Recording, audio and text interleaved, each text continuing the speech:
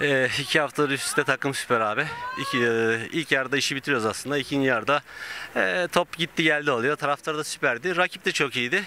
İnşallah ciddi bir sakatlık olmadı kimsede. Valla benim diyeceğim bu önümüzdeki maçlara bakacağız. Ama iki galibiyet üst üste güzel. Gruptan çıkma adına önemli tabii bu iki üst üste alınan galibiyet. 6 puan hani e, büyük ihtimalle çıkacaksınız gruptan. Bugün çocuğun da yanındaydı. Onun da uğruyla bir 3 puan daha geldi. Evet, eee, Deniz 20 aylık ilk defa babasının maçına geliyor. İlk defa bizimle röportajı da oğlum yapıyor. İyi maç, iyi takımımız var. Ekibimiz iyi. Biz sonradan giriyoruz. Oyuna biraz da olsa katkımız oluyor.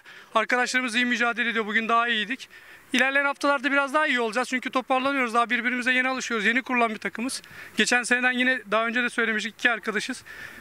Daha iyi olacağız. Rakibe de teşekkür ediyoruz. İyi mücadele ettik. Centilmence oldu. Tebrik ediyoruz. Oğlum uğurlu geldi. Golü de attık. Bay bay yap Deniz. Peki çok teşekkür ediyoruz sizlere. Başarılar diliyoruz tekrardan diğer maçlarınızda. Sağ olun.